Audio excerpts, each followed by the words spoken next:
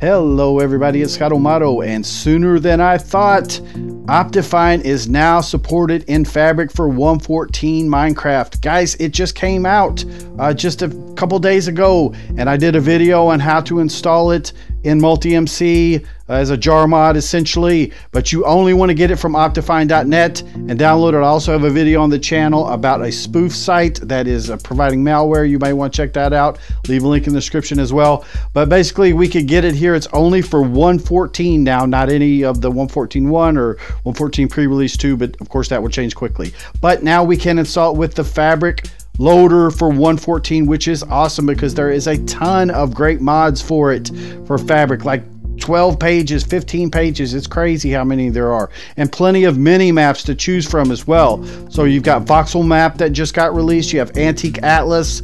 Uh, you have a one uh, written especially for fabric called mappy. Just a lot of choices guys. Check it out Fabric is awesome and it's on fire right now. All right, so we're going to do it from the very beginning, very easy to do and go through the whole process. Again, only get Optifine from optifine.net. All right, so go to the CurseForge page for OptiFabric and I'll leave a link in the description and download it to your disk. Just get the newest one and uh, then we are going to install Fabric just from scratch. It's very easy to do. So we'll go to fabric.asie.pl slash use, okay? And I'll leave a link in the description and there is a button here for MultiMC. So select that. Then the easiest thing to do is uh, first of all, we need to select 114 from the list. Make sure to get the last 114 build, not 114.1. Okay, and then we're going to copy the MultiMC instance URL.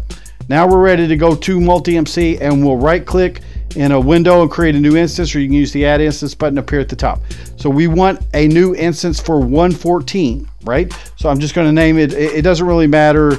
I will name it, but then along the side here, we want to choose the import from zip tab and take that link that we copied when we click that button it copied link to our clipboard and paste it here into the field here. Then we'll name it, you know, just uh, 114 OptiFabric, let's say, OptiFabric. Okay, and that'll let us know what it is. So we'll say okay, and it will pull down everything that's needed, or it will when it launches uh, for Fabric Loader and all that kind of stuff. So you can right click and choose Edit Instance, and you can see that it added this. Now, Optifine is going to go directly into this Loader Mods tab after we add the OptiFabric mod. Okay, so the OptiFabric download is here on my disk. So I basically just drag that in and we're ready to go on it. And then I can also get my Optifine. Now, one thing you're going to want to do is when you download Optifine from the uh, installer location, it comes down as an installer. Okay, so you're going to want to run that installer. So let it through your uh, Windows Defender or Gatekeeper or whatever you need to do. Right click because uh, you know it's an unsigned jar, and then it'll come up as an installer. Uh, give it just a moment to do that, and then we're going to extract. Okay, so you'll extract the jar from it uh, to get the thing that will actually run. And that is going to be right here. And it'll be named something similar to this. I think it has underscore mod. In my other video, I explained that in a little bit more detail. But basically, we just drag that into the loader mods window.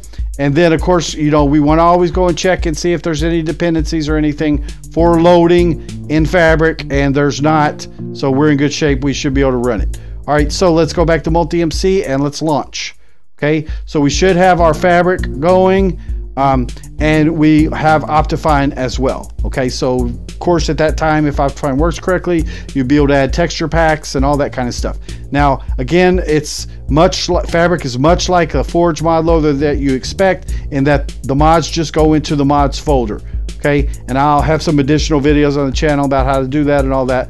Uh, and depending on what you need. Now, sometimes Fabric API.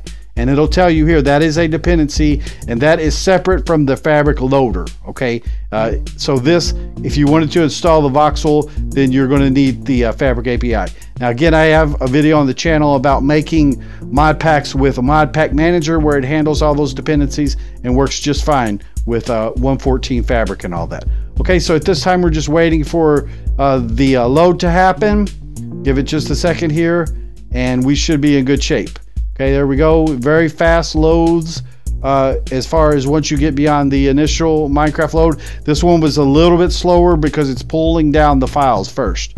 Okay, so you got to pull down the sounds, the resources, all that kind of stuff. And and that and speaking of that, I'm going to go ahead and turn down the music. And now I can just go to video settings and I can see, I'll go full screen so you can see that Optifine is indeed installed, guys. So awesome. We got dynamic lights. You know, we've got our ability to set our frame rates and stuff. Now people have been uh, more, you know, wondering about how to get VSync.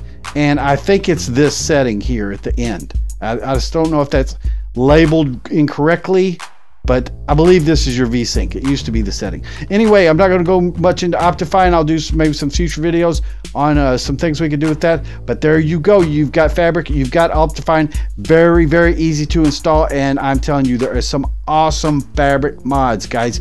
Uh, it's a really exciting time to be running Minecraft with the new changes in 1.14, which are cool on their own, and then the mods that are for it. Anyway, that's going to be it for this video. Hope you enjoyed it. This is ScottoMotto. Thanks so much for watching, guys, and have a great day. We'll see you in the next one. Bye-bye.